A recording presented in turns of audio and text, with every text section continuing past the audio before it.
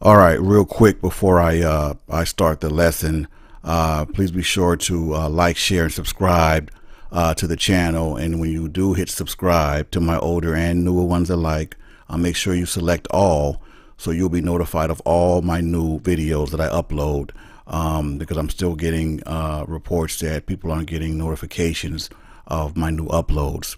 Um, I started a new segment called Real Talk Tuesdays um, a really good episode, episode one. So definitely check that out uh, when you have a moment. And, um, you know, let's continue all to do our part, right? So we can uh, keep the channel growing. All right, good morning, good afternoon, and good evening, everyone. This is Dr. Ephraim uh, saying Shabbat Shalom.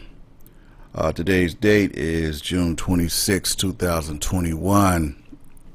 Now, obviously, if you're listening to the sound of my voice, you are blessed to see another day, and all praises due to the Most High God, Ahaya of Israel, forever. And I'm saying Ahaya by Yeshem, Yeshua HaMashiach, Baruch Atah Adonai, for now and forever. All right, uh, this uh, this lesson, quick lesson. Um, well, I don't know how quick it is, but but it's some things I wanted to to uh, to to address or redress um, by grace and mercy of the Most High. I was led um, to this last night, and so um, I'm a humble man, uh, and I've said many times uh, I'm not above reproach. I don't take for granted uh, who the Most High has called me to be, you know, who's raised me up to be. I'm just a man, uh, flesh and bones, and a sinner after the Most High's own heart in the spirit of King David. So if I if ever I'm wrong about something, like I said, I'm not above reproach. And I was led last time because I said something in the um in the this is a follow up to the the the fallen angels uh, lesson.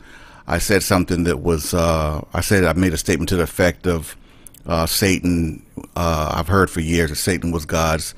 Uh, he was a beautiful uh, creation and um, this and that, you know, a couple other things. But um, I was led that, that that, that was incorrect um, and I'm going to get into uh, the scripture where actually the Most High in first person uh, talks about that or mentions that. Um, so I, I, my apologies, my sincerest apologies, um, but I'm redressing that. Um, like I said, in the spirit of humbleness and um, apologizing to, to, to, you all, the congregation, and all my supporters worldwide. Um, and I'm just, it just goes to show that you know, no one's above reproach. I know I'm not. I, I, um, you know, I'm, I'm a humble, I'm a humble br- brother. You know, so uh, when the Most High deals with me on something, you know, I immediately, you know, I address it. Like I said yesterday, whenever I'm led to something, uh, I, am I'm obedient. Okay.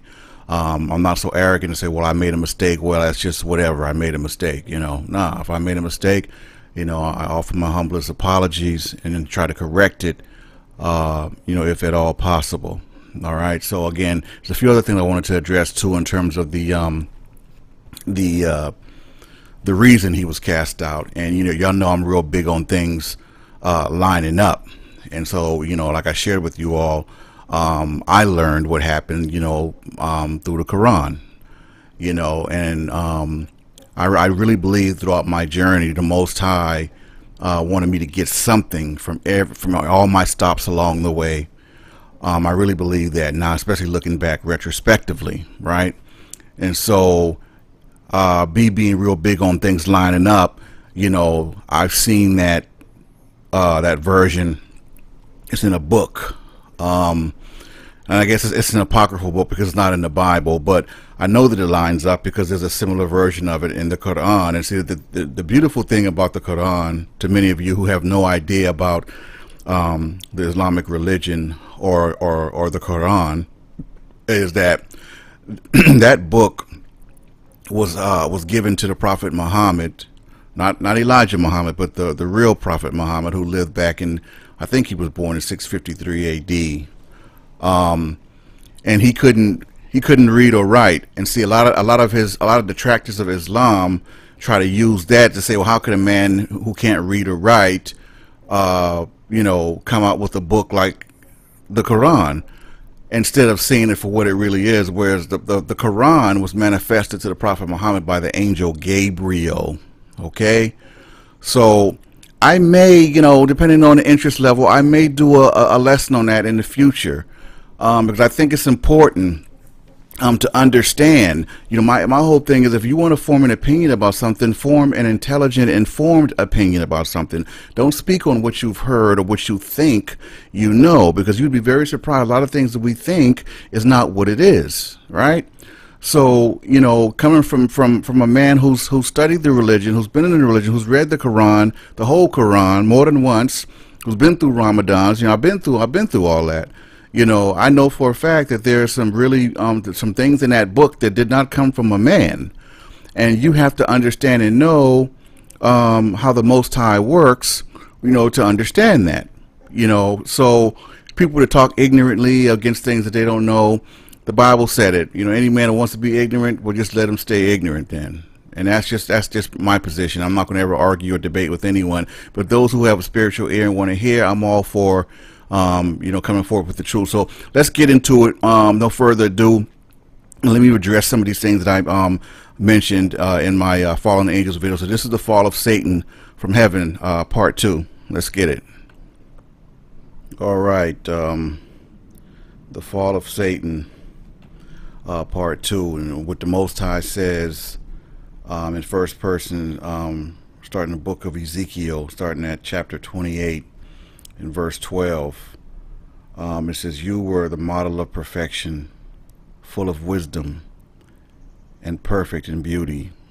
You were in Eden, the garden of God. You were anointed as a guardian cherub, for so I ordained you. You were on the holy mount of God you walked among the fiery stones. You were blameless in your ways. From the day you were created till wickedness was found in you. Through your widespread trade you were filled with violence, and you sinned. So I drove you in disgrace from the mount of God, and I expelled you, O guardian cherub, from among the fiery stones. Your heart became proud on account of your beauty, and you corrupted your wisdom because of your splendor. So I threw you to earth I made a spectacle of you before kings. So that is um, the Most High summing up essentially, you know, why he did what he did as far as casting Satan uh, from heaven. So yes, he was given, um, he was, uh, uh, you know, identified as as having, you know, quote unquote beauty. Um, and so yeah, that's not that wasn't folklore, you know. So again, uh, my apologies uh, for that, and um, but and I wanted to, to to, to correct that in the front of uh, the congregation. The man of God is not exempt from, uh, uh, you know, reprove, being reproved or reproached, right? If you're wrong, you're wrong. Doesn't matter who you are, what your title is, or how much money you have, how much money you don't have, right? we are all servants of the Most High, and um, you know, and that's the one great thing about the Most High, you know, because every the Bible tells us every way of a man is right in his own eyes, but the Lord pondereth the hearts, right? So yeah, I um I stand on that. Uh, so so that's that. Um, now, what I wanted to, to the second part of what I wanted to address um, was was uh, what happened right? Uh, from from Satan's standpoint, like I said, um, the uh, there's two versions, and, and and and it lines up, right? Uh, the life of Adam and Eve did not make its way, you know, to to uh, to the Bible through canon, right?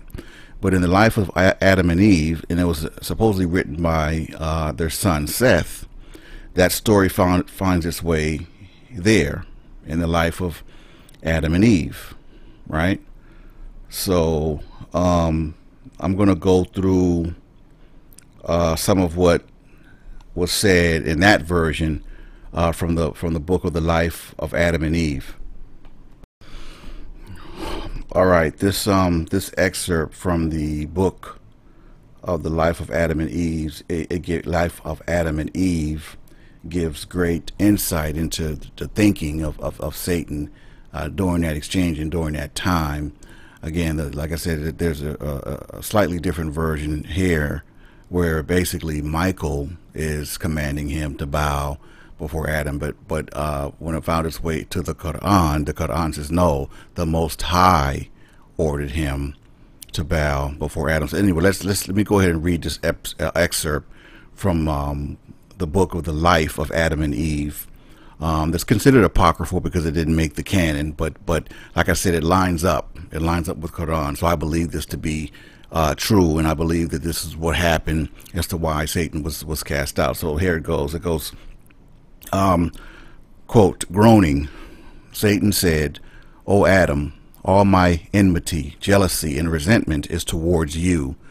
Since on account of you I was expelled and alienated from my glory, which I had in heaven in the midst of the angels, on account of you I was cast out upon the earth.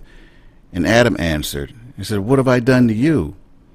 What fault do I have against you? Since you have not been harmed nor injured by us, why do you persecute us? And Satan answered and said, Adam, what are you saying? It's on account of you I was cast out from heaven.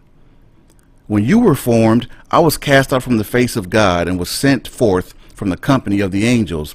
When God blew into you the breath of life, and your countenance and likeness were made in the image of God, Michael led you and made you worship in the sight of God. The Lord, the Lord God then said, Behold, Adam, I have made you in our image and likeness. Having gone forth, Michael called all the angels, saying, Worship the image of the Lord God, just as the Lord God has commanded. Michael himself worshipped first. Then he called me and said, Worship the image of God Jehovah. I answered, I do not have it within me to worship Adam. When Michael compelled me to worship, I said to him, Why do you compel me? I will not worship him who is lower and posterior to me. I am prior to that creature. Before he was made, I had already been made. He ought to worship me. Hmm. Hearing this, other angels who were sent under me were unwilling to worship him. Michael said, Worship the image of God. If you do not worship, the Lord God will grow angry with you. Satan said, If he grows angry with me, I will place my seat above the stars of heaven, and I will be like the Most High. Ah, and that's where I, I believe he sealed his fate. Basically, he said that, so what if, if God gets mad? He'll just go higher he'll he'll place himself higher than who he is, and he'll be like him. Uh, that, that that that's what I felt uh, sealed his fate when he when he when he said that. So that exchange is very insightful, right? And and again, it lines up now. The Quran, uh, for for those who don't know, the Quran deals in we deal in chapters and verses. The Quran deals in surahs and ayats. Surah is the chapter, ayats is the verse, obviously. So there are uh, several instances in Quran where it um, relays the story of, of, of, of, what I just said. Um, but let's see here. We're gonna. I'm not gonna read the whole thing, but in the Quran, the Quran's version, basically it says. Uh, let's see here. Sure. Okay. And the Most High said, and this is starting in the, the seventh surah, 12th ayat. Uh, the Most High said, What prevented you from bowing when I commanded you to do so? And Satan said, I am better than he. You created me from fire, and him you created from clay. And then it says, the most, and the Most High says, Then get you down from here. It does not behoove you to be arrogant here, so be gone you will be among the humiliated. And then it goes on to say, implicit in the Quranic expression in the idea of contentment with one's disgrace and indignity, for Saghar, Saghir is he who invites disgrace and indignity upon himself. Now, Satan was a victim of vanity and pride. See, in the Most High, he, he spoke of that in Ezekiel. Okay, so that lines up. And for that very reason, defied God's command to bow himself before Adam Satan was therefore guilty of self-inflicted degradation, false pride, baseless notion of glory, ill-founded illusions of greatness, failed to confer any greatness upon him. they could only bring upon him disgrace and indignity. Satan could blame none but himself for this sordid end. That's right. And so all of that lines up because the Most High spoke on that. Um, so let's see here. So um, then after after basically the Most High was, was, was, was dismissing him and casting him out, he said, "Well, then I will come up. I will come upon them." Basically, this was his his his war against man, because this this is why that exchange. So that exchange from the life of Adam and Eve makes sense as well, because he felt Adam was responsible for him being cast out. He didn't see see Satan was the original narcissist. see, he didn't he didn't understand that it was his arrogance that got him to done him in. He blamed Adam right? I mean, classic narcissist, right? So I think I think we're looking at Satan as being the, the world's the, the, the first narcissist, man, because he he blaming Adam for something that is his fault, but he ain't taking no responsibility. So he he he caused himself to get kicked out, but he want to blame Adam. And man, he said, man, it's because of you I was cast out. oh, that's funny, man. That is funny. Uh, but then he said that um, uh, I will come upon them from the front and from the back and from the right and from their left, and, and you will not find most of them thankful. This is Satan talking to the Most High. And this was the challenge thrown down by Satan to God.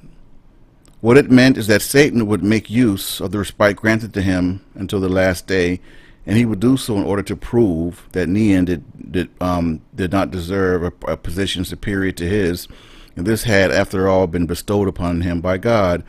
So doing, he would expose how ungrateful, thankless, and disloyal a creature man is. Wow. So there we go. Um, and that, that what I just read, there was excerpts from the Quran. Okay. So, you know, all praises due, you know, to the Most High Yahya. You know, so like I said, I'm real big on things lining up, and that most definitely everything lines up because the Most High spoke of it in the book of Ezekiel of Satan being proud and beautiful, beautiful and, and, and arrogant, and it spoke to the, it said the same thing in Quran, so it lines up. Um, again, I may I may do a lesson on on the history of of that because a lot of people just don't know or ignorant to the fact, you know, that the the, the Holy Quran is not a book that just kind of showed up. Um, and what a lot of people don't know is, is, is that book, as it was uh, given to the Prophet Muhammad, has not changed, not one single bit because in that book, the Most High promised that no one would be able to touch it, and no one has. The Quran is what it's been since its inception, and uh, untouched. There's no different versions like you know of, of the Quran. You know, another beautiful thing. There's only one version, right? So anyway, um, that's pretty much it. You know, like I said, I wanted to kind of just you know correct that wrong, if you will, and, and just give a little more context um, to the to the to the lesson from yesterday as far as the fallen angels, Satan's fall. Um, so yeah, if you got some time, I think there's a there's a PDF version of the book uh, of life of Adam and Eve. You know, do a do a Google search for the book of life of Adam and Eve, uh, comma PDF, and it should come up. You should get it for free or whatever, and you know, and check it out. Um, so yeah, and I also think I might do a book of some of the some of the other books, man. Some of the other so-called apocryphal books, like the the um, the Apocalypse of Peter. Yes, that's that's a good one, um, and especially because the Apocalypse of Peter was almost um, in the place of revelation. I think I mentioned that before, but yeah. But anyway, that's it, my people. I'm looking forward to um, uh, Shabbat sermon later on. Um, it's dealing. I'm dealing with um, with faith, faith in uh, faith in God and in, in, in, God's protection. So it's going to be a good one. I'm definitely don't want to miss that. So uh, I wanted to uh, address that real quick. You know, um, again, Shabbat Shalom. This is Dr. Ephraim signing off. Um, I'll, I'll, talk to you guys later. So enjoy the rest of your Shabbat. Just, uh, signing off saying hi by Yeshim, Yeshua HaMashiach, Baruch Atah Adonai. Shabbat Shalom, elect.